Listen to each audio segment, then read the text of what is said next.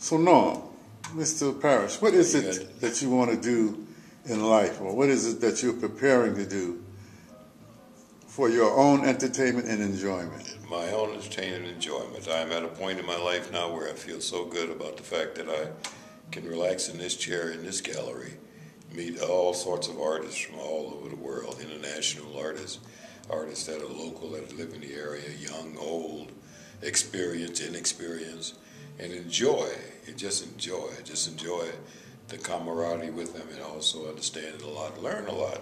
It's a lot of uh, uh, a lot of lessons and a lot of uh, life that I can see. So I'm happy in the present stage that I'm in. You know. As my dad would say, I'm satisfied.